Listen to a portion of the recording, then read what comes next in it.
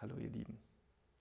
Heute möchte ich euch erläutern, was Yoga bedeutet. Was ist Yoga?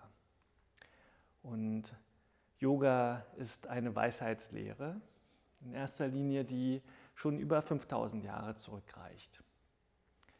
Und Yoga ist auch ein Werkzeug, ist so viele Dinge, aber vor allen Dingen ein Werkzeug, um in das innere Potenzial zu kommen, um es aufzuschließen und wir können dafür verschiedene Aspekte nutzen, verschiedene Aspekte des Yogas, verschiedene Wege des Yogas, wie zum Beispiel Meditation, Mantren singen, Asanas praktizieren.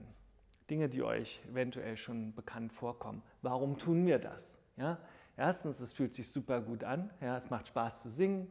Es ist schön, mal irgendwie für einen Moment zur Ruhe zu kommen. Es ist super toll, sich zu bewegen. Aber vor allen Dingen möchte Yoga uns in die Freiheit führen. Ja, möchte Yoga uns, und das ist der, das Versprechen des Yoga ist, uns vom Leiden zu befreien. Diese Sansaras, diese Flammen hier um Shiva herum, dass dieser ewige Kreislauf des Leidens durchbrochen wird. Und wie, wo kommen wir an? In der höchstmöglichen Glückseligkeit, Ananda. Und wir können das erreichen, indem wir wirklich kontinuierlich praktizieren. Ja, das ist in den Yoga-Sutren schon so besprochen. Und dieses kontinuierliche Praktizieren, ohne viele Pausen, egal auf welchen Weg wir das machen, egal welches Portal wir nutzen, das führt uns in diese Freiheit. Wir nennen das auch Erleuchtung, wir nennen das in dem Sinne ins Licht zurückfinden und in die Heimat, ins Herzen zu finden. Und wenn wir das tun, dann gibt uns das unheimlich viel Stabilität im Innern. Ja, es gibt uns dieses Gefühl von, ich bin da und kann mich mit allem verbinden. Wenn ich mich selber so akzeptieren kann, wie ich will, deswegen ist Yoga auch immer ein Pfad der Selbstrealisierung, wenn ich mich so erkennen kann im Innern, wie ich wirklich bin, in meinem authentischen Selbst, dann gelingt es mir auch alles andere anzunehmen. Ja, weil wir werden oft bestimmt von außen, wir werden oft bestimmt durch Dinge, die passieren. Oder ja, wer hatte schon mal Stress in seinem Leben ja, und merkt, oh Gott, ich bin out of balance, ja, ich bin da nicht mehr ganz bei mir in meiner Mitte.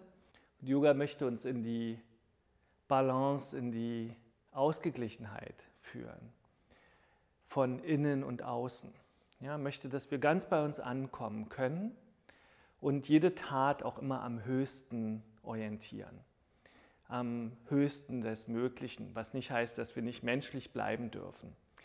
Und hier setzt Tantra als moderner Pfad aus dem Yoga einen sehr guten Punkt.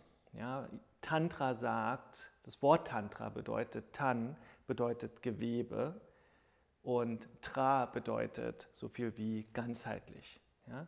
Es möchte dieses Gewebe des Lebens, das Gewebe des Kosmos ganzheitlich integrieren in diese Erkenntnis unseres Selbst, in die Erkenntnis von allem. Wohin führt uns das? In die absolute Wahrheit.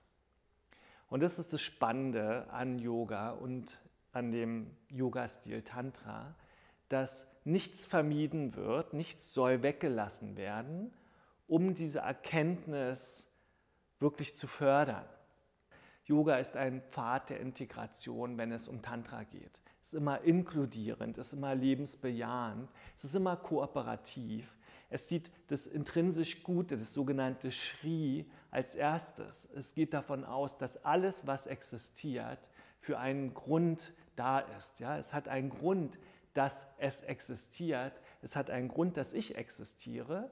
Also muss das erstmal gut sein. Ja?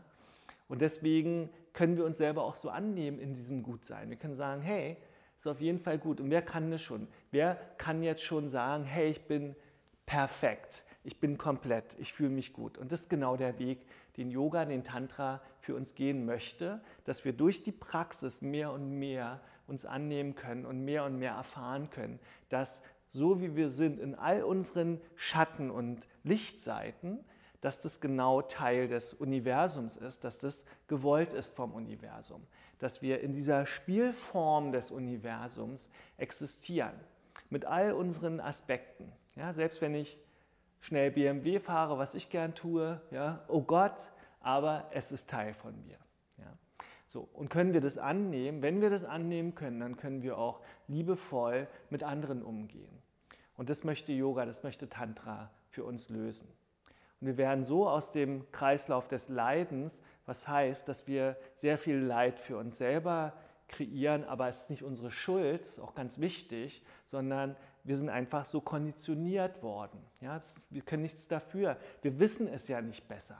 Aber in dem Moment, wo Yoga als Erkenntnisweg auch seinen Weg geht, können wir sehen, okay, wir können all diese Dinge jetzt integrieren in die Erkenntnis, in uns selbst und können uns mehr und mehr zu uns selbst finden in diesem Pfad der Selbstrealisierung.